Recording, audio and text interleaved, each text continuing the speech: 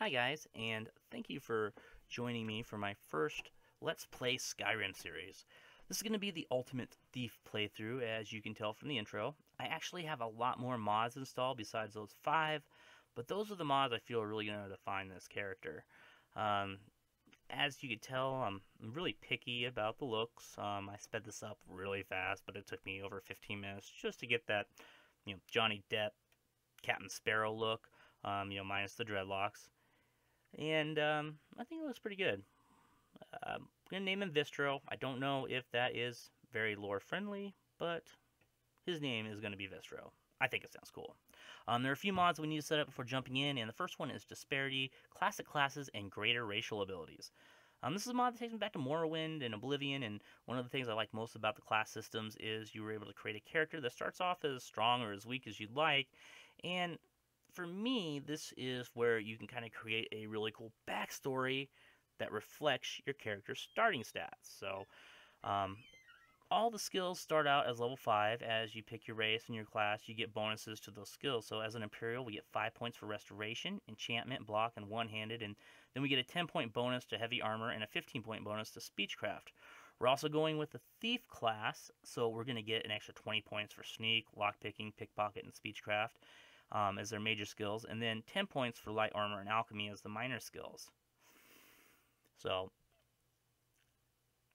the other thing about this um, mod is you can pick your um, standing stone or birth sign. Um, in Morrowind and Oblivion, you had a birth sign, and in Skyrim, it's the standing stones. But uh, I'm going to go with the shadow for the ability to turn invisible once a day, and then I'm also going to make it so it is um, permanent, so I can't change it.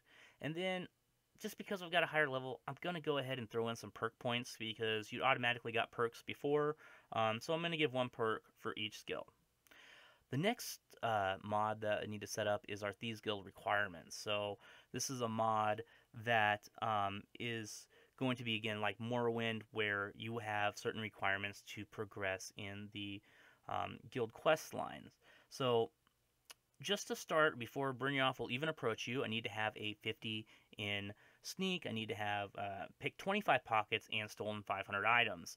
Um, and then I'm also going to set the um, requirements for the third and fourth quest, um, where I'm going to have to have for the third quest a 50 level sneak, 35 level lockpicking, and pickpocket, and then also um, completed 10 radiant quests. And then for the fourth quest to begin, um, we need to have a 75 in sneak, um, 55 in lockpicking, and uh, 55 in pickpocket, and then complete 20 radiant quests.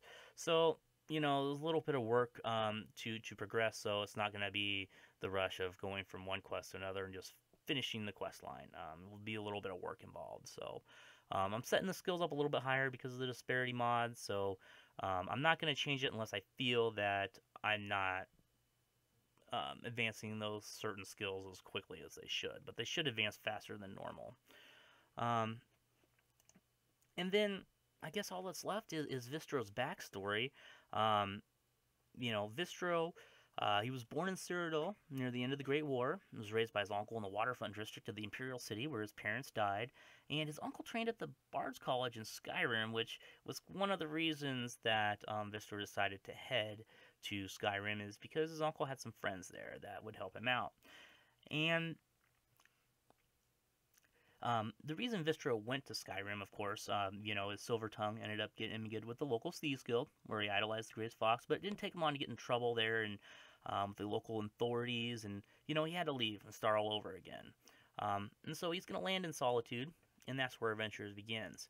Now, what we're going to do is, is, try to make it from Solitude to Riften, and, uh, you know, by the time we get to Riften, hopefully we'll meet all the requirements to join the Thieves Guild.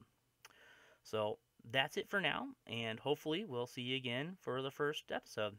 Thanks.